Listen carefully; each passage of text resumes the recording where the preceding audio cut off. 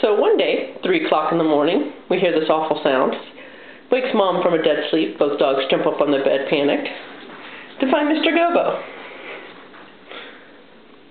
playing in the bathtub.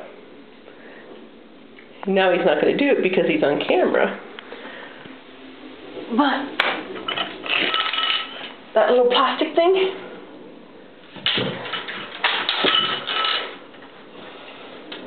non-stop. Oh, G-Man. Okay, everybody on Facebook is going to get tired of mom's photos and videos. That's what happens when the power goes out, huh, guys?